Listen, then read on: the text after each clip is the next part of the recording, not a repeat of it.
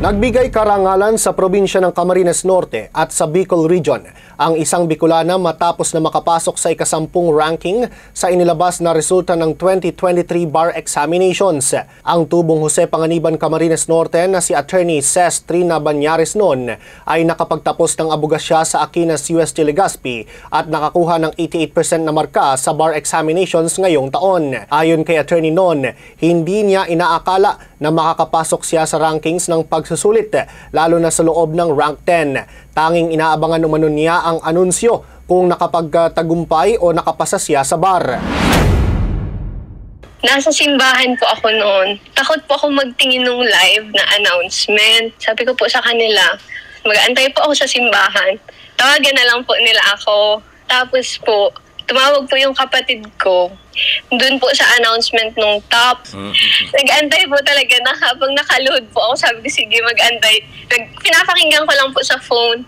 Kaso po, yun, bigla po yung kapatid ko, hindi ko na po naiintindihan yung announcement kasi sabi niya, placer ka, placer ka. Sabi ko, ano, ano? Sabi, placer ka. Nung narinig ko po yung announcement na po ni Justice Hernando, doon ko po narinig yung pangalan ko.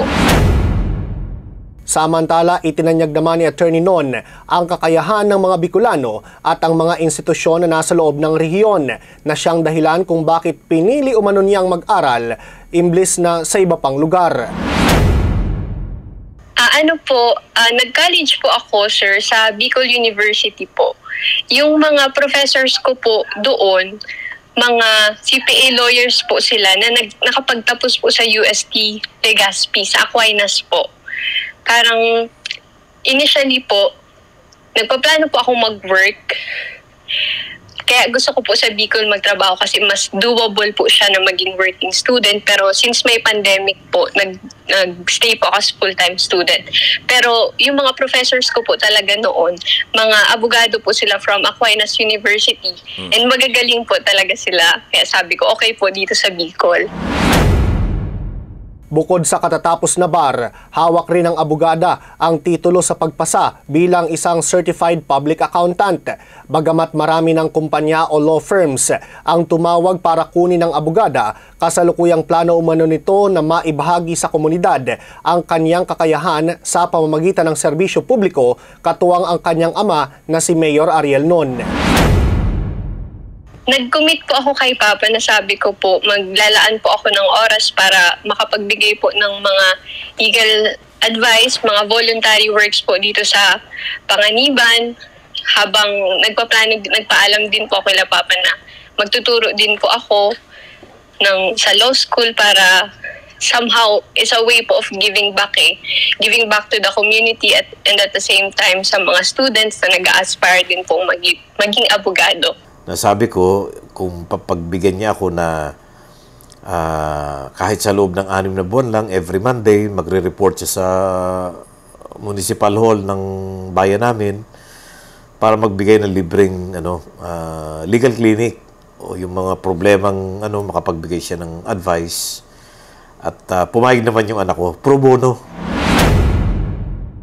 Mula sa bayan ng Jose Panganiban, Camarines Norte, Juan Carlos Aguirre, BHTV News.